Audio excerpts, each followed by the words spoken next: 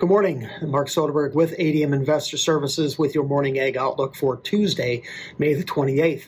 I hope everyone had a wonderful Memorial Day weekend while taking time to remember those brave men and women who paid the ultimate sacrifice for our country's freedoms.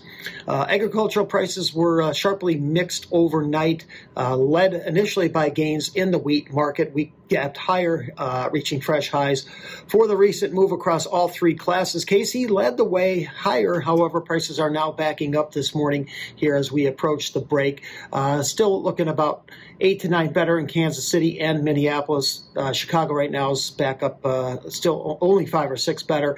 Corn is uh, steady to uh, one to two better, well off session highs, and the uh, soybean complex is backing up here, uh, now down six to nine in soybeans. Meal prices are four to five dollars lower. Still holding on to gains here on the oil, up 40 to 50 points points um, we continue to see dry forecasts for southern Russia and surrounding areas, eastern Ukraine and western Kazakhstan.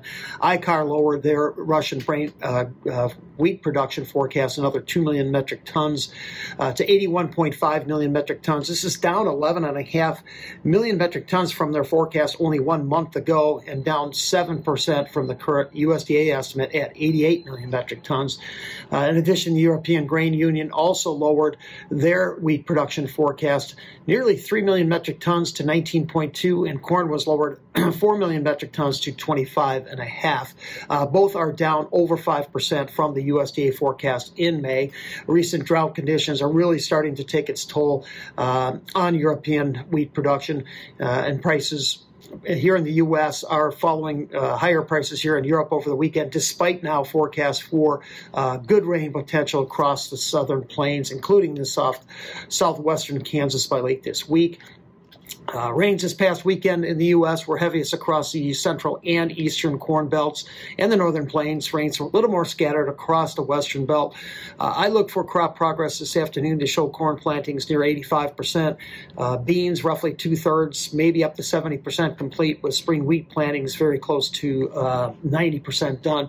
I don't see any significant changes in U.S. winter wheat ratings, uh, holding pretty close to that 49%, good to excellent figure from last week. I do, however, suspect we'll see lower ratings in the hard red, wet, red winter wheat areas with improvements in the soft red.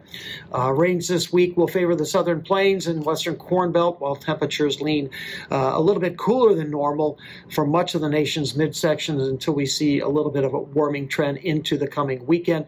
At this point, I don't see a significant change away from the current acreage mix as outlined uh, by the USDA at the end of March, perhaps a touch lower on the corn, depending on where delays sit here. We'll see, watch tonight's crop progress report rather closely. Starting to see rains let up across Rio Grande do Sul in southern Brazil, which will allow harvest to start to finish up uh, and better assess crop damage from the recent flooding. Brazil's second corn crop harvest is really just getting underway at about 2% done. Both money managers and index funds were light sellers in the ag space this past week. Biggest surprise was uh, heavy fund selling in the corn uh, at about 50 50,000 contracts was much bigger than expected. Uh, so short across the board still in the ag space with the exception of meal where that uh, long position now is swelled to 101,000 contracts.